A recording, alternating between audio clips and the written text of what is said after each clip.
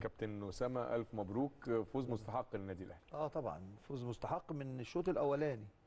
آه رغم إن الشوط الثاني آه أقل نسبيا في السيطرة والاستحواذ يعني إنبي آه دخل معاك في ال game ونص الملعب اتفتح مننا شوية.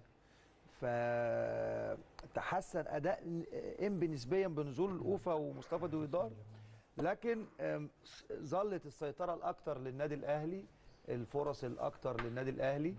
آه لغاية لما الجون الثاني جه في الدقيقة 50 آه تحس إن المباراة يعني كل إحساسك وأنت بتتفرج إن انبي بيلعب لمجرد إنه يحسن بس من النتيجة. مش أيوة. حاسس إنه إنه عايز يرجع للمباراة أو ميت إنه ده ماتش كاس إنه لا تحس إنه بس بيلعب عشان يحسن الصورة يعني بس هي الفوارق الفوارق. باينة يعني بين الفريقين ما, ما أنا بقول لك بعد الجون الثاني كمان في الدقيقة 50 و50 دي بدري قوي يعني أيوة. يعني بعد خمس دقايق من الشوط الثاني آه تحس إن الأمور خلاص انتهت مم. آه ام بيتحسن نسبيا الشكل الهجومي ليه بالذات الجنب الجنب بتاع علي فوزي كان عامل هجمات آه، يعني مؤثرة شوية هو وقوفة قدام عاملين حركة وكده وك- وكابو بس التأثير مش كبير قوي.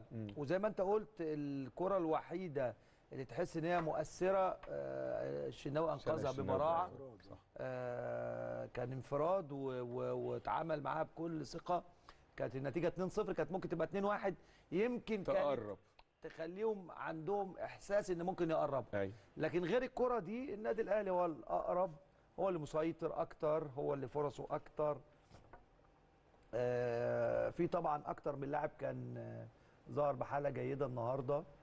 فمبروك للنادي الأهلي وفوز مستحق.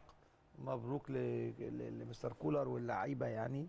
وإن شاء الله نكون موفقين أيضا لما نيجي نلعب النهائي إن شاء الله مباراة واحدة وإن شاء الله تحصل على بطولة يعني.